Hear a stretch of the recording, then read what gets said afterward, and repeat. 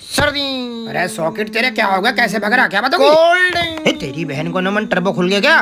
ठंड किसने नहलाया इसे? धूप निकलवा दो। अरे इसने पेट्रोल पी लिया। ठंड से